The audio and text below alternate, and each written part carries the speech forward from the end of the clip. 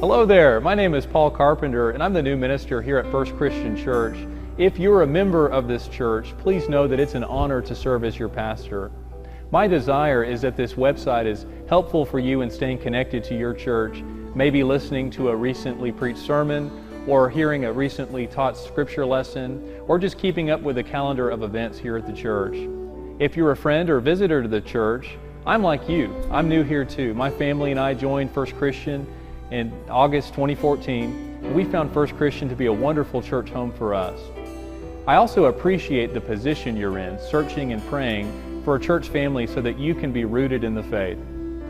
The best way to find that is to prayerfully show up to worship events, fellowship times.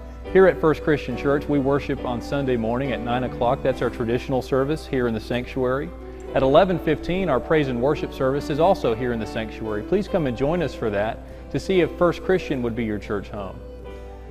Ultimately, my desire is that you end up where you're supposed to be, in a church here in Lubbock, Texas. If First Christian Church is that church home for you, that's great. If it's not, it'd be my honor to walk with you and help guide you to the right church for you.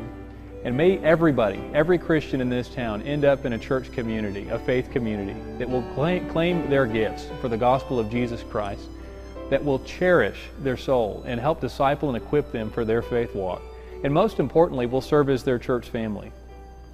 May the Lord bless you and keep you. May He be gracious to you, and may He give you the peace of His Son, Jesus Christ. God bless you.